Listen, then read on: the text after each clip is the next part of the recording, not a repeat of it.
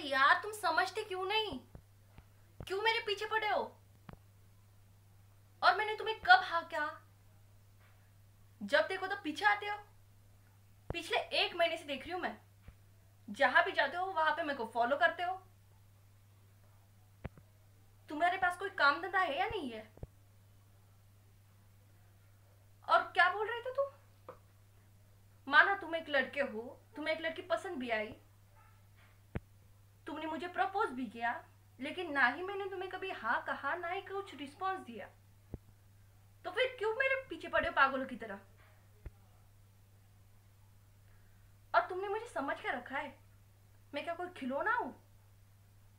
कि नहीं पापा, मेरे को ये खिलौना पसंद आ गया है, मुझे बस यही चाहिए, नहीं तो मैं मर जाऊँगा। क्या समझते हो तुम खुद को?